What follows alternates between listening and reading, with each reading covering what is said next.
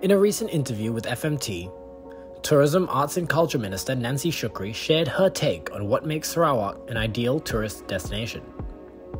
The native Sarawakian said her home state was the go to place for ecotourism, food, culture, and tradition, specifically mentioning several places of interest.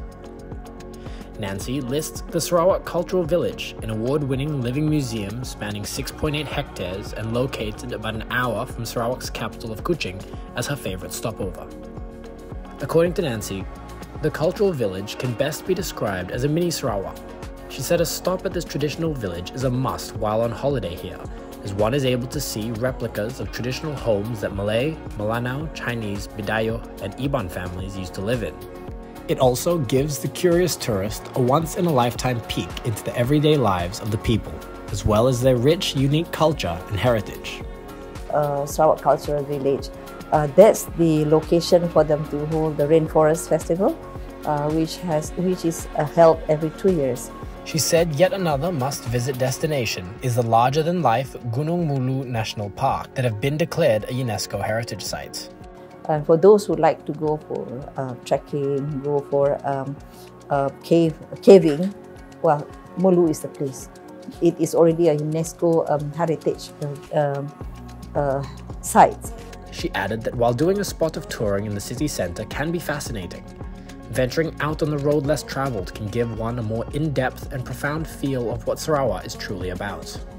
It's My pride, my pride of what I can share with people is the longest river crossing bridge in Malaysia at the moment, the um, Batang Sadong Bridge. And we're going to have our Batang Sadong Bridge Marathon run very soon. So um, yeah, I would like to see more people coming in. Sarawak is also well known for its wide range of mouth-watering hawker favorites that are simply too hard to resist. While the classics like mi kolo and laksa are well known and much loved, she encourages tourists to sample the more unique delicacies and specialties that the state has to offer. Take burasak for instance. A specialty of the Bugis people, burasak is a rice dumpling cooked with coconut milk and packed in a banana leaf pouch.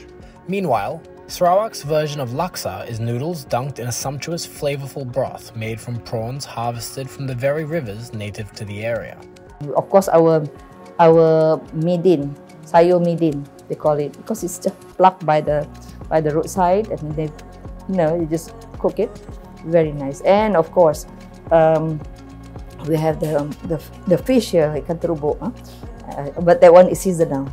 Feeling deep pride and love for her home state, Nancy acknowledged, however, that many misconceptions still persist about Sarawak and its people, the most common being that its natives live on trees. She said it is her mission to promote the real Sarawak, a state that has embraced development and modernity yet is profoundly proud of its rich culture, racial diversity, warm hospitality, and natural heritage. Nancy expressed hope that more tourists, both foreign and domestic, would visit Sarawak once its borders were fully open to international travel.